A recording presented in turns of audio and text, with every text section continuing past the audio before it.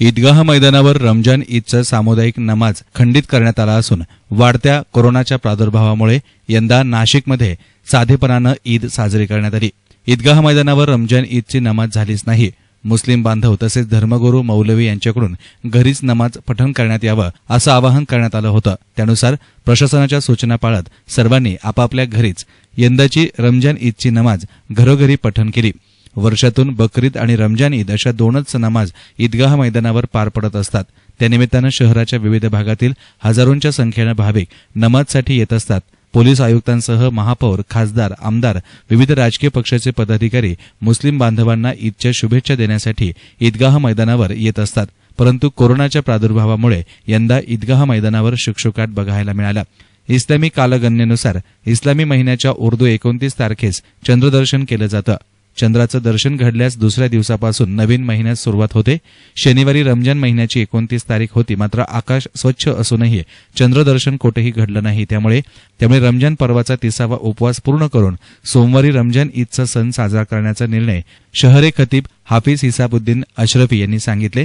मुस्लिम समाज बांधवांनी आपापल्या घरातच नमाज पठण आणि फातिया पठण करून कुटुंबियांसोबत तिचा आनंद लुटला. ईदच्या शुभेच्छा देताना कोरोनाच्या पार्श्वभूमीवर अधिक खबरदारी घेत हस्तांदोलन आणि अलिंगन टाळल्याचं प्रकर्षण दिसून आलं. यावेळी मुस्लिम समाज बांधवांनी आपल्या प्रतिक्रिया व्यक्त केल्या. नमस्कार.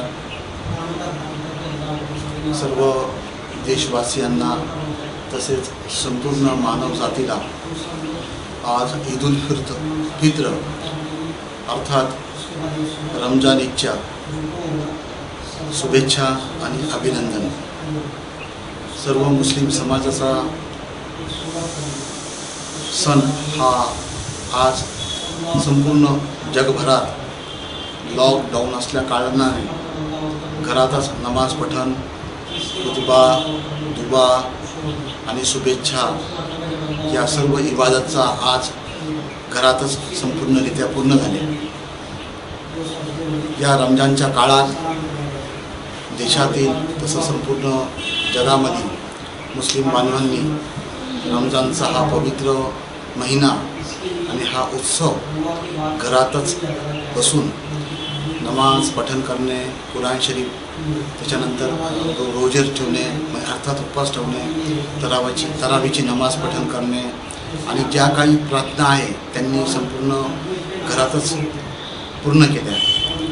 आणि महाराष्ट्र शासनाच्या तसेच केंद्र सरकाराच्या आदेशाचे पालन करत मुस्लिम समाजाने यंदा प्रथमदाच रमजान ईद ही आपापल्या घरात सर्व नियम पाळून ही साजरी केलेली आहे. संपूर्ण देशवासियांना रमजानच्या शुभेच्छा आणि अभिनंदन. न्यूज रिपोर्टर मनीष सरबतकर एसनान मीडिया नाशिक.